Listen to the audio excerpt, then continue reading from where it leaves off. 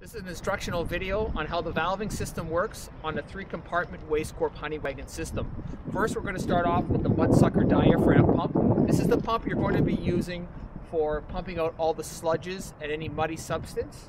Right now the valving system is, is set up so that you can pump from a location and dump into the large tank.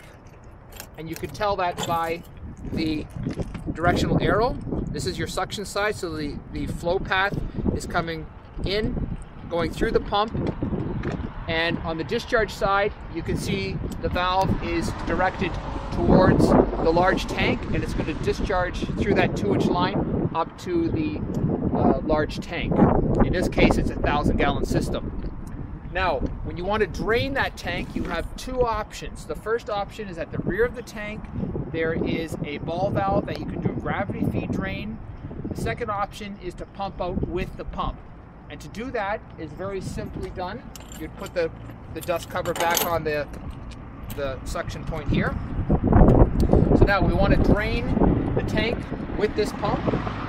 So the first thing we would do is we would turn this valve. So now this suction hose is sucking the fluid from this tank going through the pump and then you would divert the valve and instead of pumping that direction we're now pumping out. You would obviously connect the discharge hose to that. You pump it out. And it's that simple. There is a safety secondary safety ball valve as well. If something happened to the tank or you want to isolate the tank there is a two inch ball valve here that you can shut off to shut the system down from that main from that main tank. Okay, so let's move on to the the water tank and the and the chemical tank. Okay, so right now the you're going to obviously turn on this small trash flow centrifugal pump. Uh, so right now it's set to pump from the fresh water tank.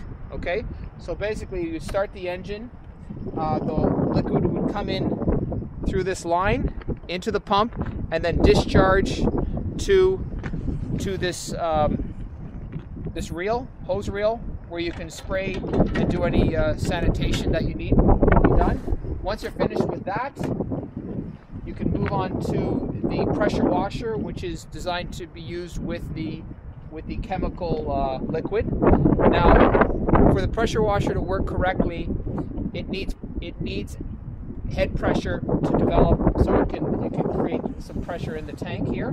So when, with the engine running, we're now going to divert the discharge line. We're going to divert it this way.